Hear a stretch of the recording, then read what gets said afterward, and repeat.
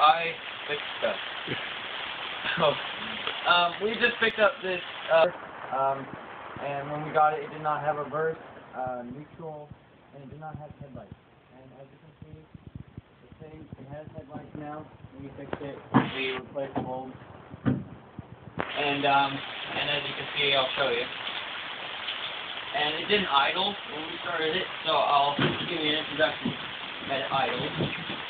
So, Right.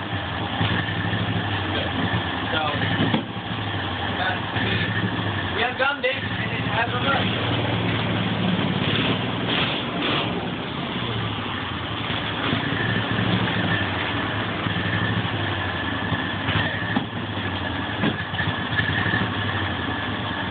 basically that.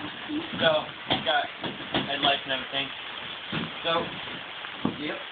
And, uh, so, we found out that, Micah, me, that this, uh, munchkin, even munchkins of the age of 13, can, uh, can drive these things. So, Micah, how about you give us a demonstration?